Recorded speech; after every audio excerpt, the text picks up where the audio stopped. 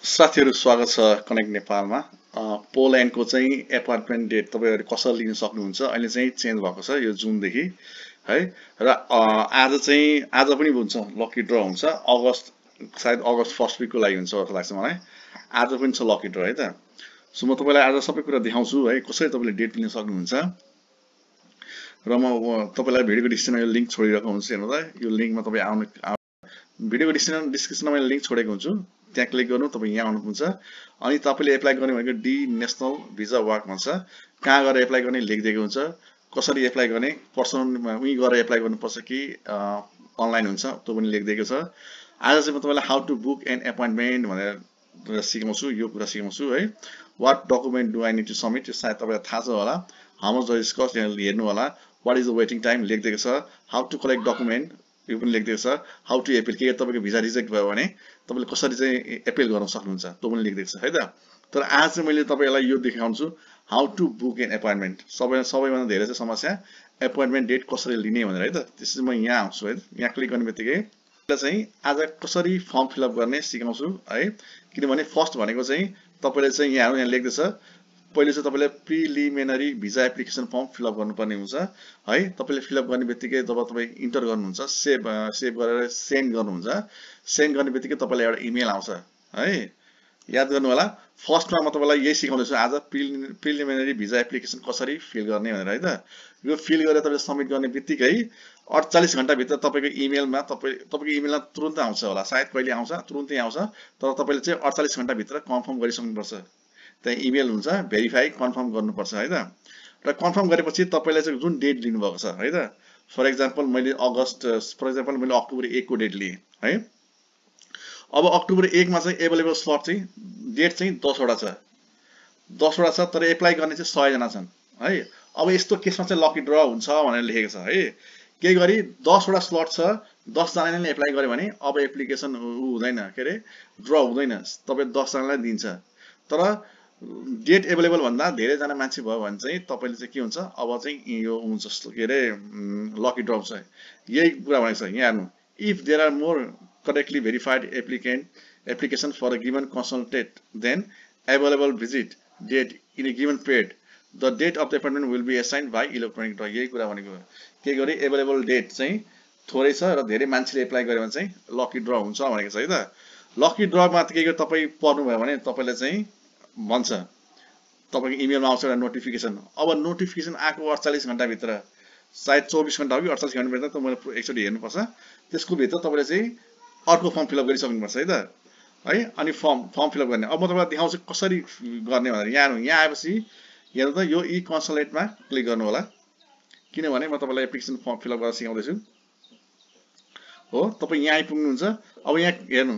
यहाँ मैले change language version तपाईँको मोबाइललाई हेर्नु होला ल्याङ्ग्वेज भर्सन मैले इङ्ग्लिस राखेको छु है? तपाईँ पनि राख्नु होला।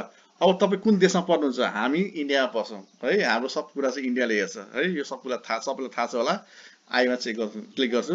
अब इन्डिया र इन्डोनेसिया आयो है? म इन्डियामा चेक क्लिक गर्छु। अब इन्डियाको दुई ठाउँ आयो। एउटा मुम्बईमा आयो एउटा न्यु दिल्ली। हामीले न्यु दिल्ली हेर्नुपर्छ। न्यु दिल्लीमा क्लिक गर्छु। यहाँ क्लियरली लेखिदिएको छ कुन कुन देशले एप्लाई गर्ने भनेर है? नेपालले पनि पर्छ नेपालले पनि यहीँबाट एप्लाई गर्नुपर्छ ओके?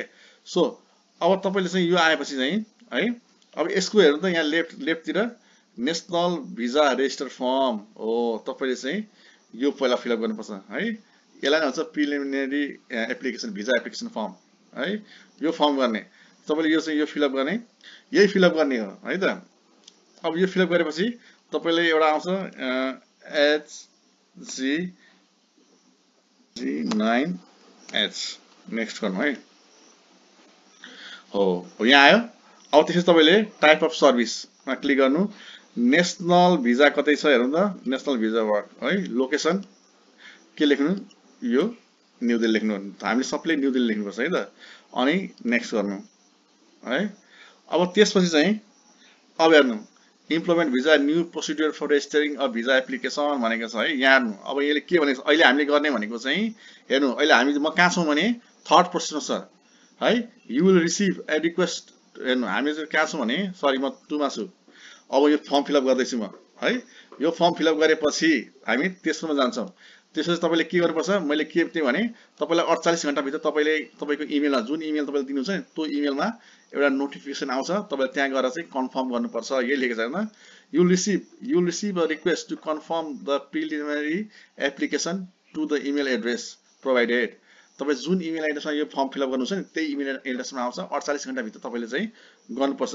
अनि फोरमा के भनेको छ के गरी तपाईँ सेलेक्ट हुनुभयो भने है तपाईँ सेलेक्ट हुनुभयो भने तपाईँको इमेलमै आउँछ। डियर फलाना यु हेभ यो date you have been selected तपाईँले कुन डेट दिनुभएको थियो त्यही डेट इज सेलेक्टेड भन्छ होइन? अनि त्यसको हेर्नु हेर्नु positive result of verification entitles you to complete the full visa application within next forty eight hour हो त्यो आएको अडचालिस घन्टाभित्र तपाईँले फुल एप्लिकेसन फिलअप गर्नुपर्छ। यो भनेको यहाँ नु यहाँ छ यहाँ नु नेसनल भिजा फर्म यो तपाईँले फिलअप गर्नुपर्छ है त। अडचालिस घन्टाभित्र। केही गरेर तपाईँ सेलेक्ट हुनुभयो भने तपाईँको इमेलमा आउँछ। त्यो इमेल आएको अडचालिस घन्टाभित्र है त। If the application is not com completed within that time के के तपाईँले चाहिँ कन्फर्म गर्नु एप्लिकेसन तपाईँले फुल एप्लिकेसन चाहिँ तपाईँले हाल्न सक्नु भएन भने तपाईँको क्यान्सल हुन्छ भनेको है त। सो यही कुरा भनेको छ। अनि त्यो चाहिँ के हुन्छ? केही गरी यही कुरा केही गरी चाहिँ धेरैजना मान्छे छन् भने एभाइलेबल डेट भन्दा धेरै धेरैजना मान्छेले एप्लाई गरेको छ भने लकी ड्र हुन्छ। यहाँ होइन इलेक्ट्रोनिक डेट हुन्छ इलेक्ट्रोनिक ड्र हुन्छ भनेको छ। है त यही कुरा छ। के गरी? And after your application, after your application has been done, you will be sent information about the date of the visit to the email address provided by you. Other applicant will take अब हेर्नु तपाईँको आयो select हुनु त तपाईँको email आइहाल्यो। तर select हुनु भएन भने फेरि तपाईँले यही प्रोसेसलाई रि गर्नुपर्छ। है जसले सेलेक्ट हुँदैन। अब हेर्नु type of service national visa work है? नेक्स्ट ड्र कहिले छ? दुई हजार ट्वेन्टी फोर सेभेन एटमा हुँदैछ भनेको जुलाई जुलाई आठमा हुन्छ है? अनि हेर्नु कुन डेटको लागि हुँदैछ? दुई हजार चौबिस आठ आठको लागि अगस्त आठको लागि हुँदैछ। कहिलेदेखि? नौ बजेदेखि एघार बजेको बिच बिचमा है त? अब यही हेर्नु न complete the preliminary application form हो तपाईँले यही फर्म फिलअप गर्नुपर्छ है? अब आफ्नो नाम लेख्नु first name last name email ID phone number लेख्नु अनि ट्राभल डेट तपाईँले कसले कहिले छ त्यहाँ हेर्नु? तपाईँको वाक उसमा होला वाक पर्मिटमा होला केमा होला है? Intended date of arrival in Republic of Poland है? Intended date of departure from Republic of Poland छ कि छैन त्यहाँ हेर्नु होला? छैन भने एनी लेख्नु होला है? पर्सनल डाटा पासपोर्ट नम्बर लेख्नु है? अब तपाईँ कुन कुन डकुमेन्ट छ हेर्नु त तपाईँ सरी तपाईँको कस्तो खालको ट्राभल डकुमेन्ट हो? ओर्डिनरी पासपोर्ट हो। हामीसँग डिप्लोमेटिक पासपोर्ट हुँदैन है? यो आठ नम्बरको भनेको पासपोर्ट नम्बर भनेको है त? के के अदर छ त्यो पनि लेख्नु होला है? अनि अब यो लेखेको छ यो चाहिँ भनेको यो यहाँ यहाँ बुझिएन त्यसले म यसलाई कपी गर्छु। यसलाई कपी गर्छु है? अनि म एचडिएलमा जिपिएलमा जान्छु। जिपिएल ट्रान्सलेटरमा जान्छु। के भनेको छ मैले बुझिनँ।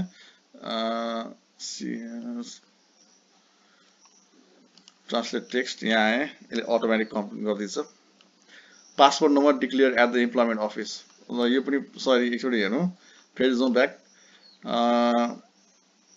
ब्याक जाउँ है? मैले यहाँ के एउटा गल्ती भनेको थिएँ। नम्बर अफ ट्राभल डकुमेन्ट भनेको छ होइन? अब नम्बर अफ ट्राभल डकुमेन्ट भनेको चाहिँ कतिवटा तपाईँसँग डकुमेन्ट छ त्यो भनेको है त? सिरिज एन्ड नम्बर भनिरहेको छ है? अब यहाँ तल आउनुभयो भने हेर्नु त यो नम्बर भनेको पासपोर्ट नम्बर भनेको यहाँ त मैले ट्रान्सलेट गरेँ नि। Passport number declare at the employment office है? त्यसपछि तपाईँ आउनु अनि यहाँ हेर्नु तपाईँले चाहिँ यो फर्म फिलअप गर्नुपर्छ जस्तै इन्टाइटलिङ यु टु वार कस्तो खालको डकुमेन्ट हो तपाईँसँग हेर्नु त?